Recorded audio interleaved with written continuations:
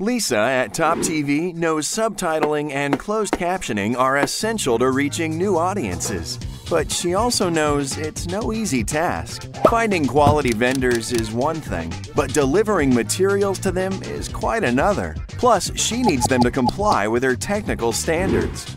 So she uses iMediaTrans, a web platform dedicated solely to subtitling and captioning, where subtitling vendors meet clients like Top TV. Here's how Lisa gets a Top TV show localized in 10 different languages. First, she uploads her materials to iMediaTrans. Later, they'll be transferred to all of her vendors at rocket speed using CDN.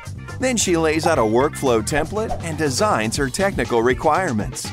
After choosing vendor criteria, her project starts off with a click in all 10 languages.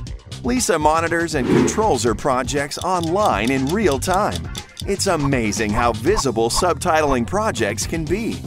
Now, the best part is, since Lisa started using iMediaTrans, Top TV has saved nearly 30% on subtitling costs. Would you like to streamline your subtitling and captioning projects while saving time and money?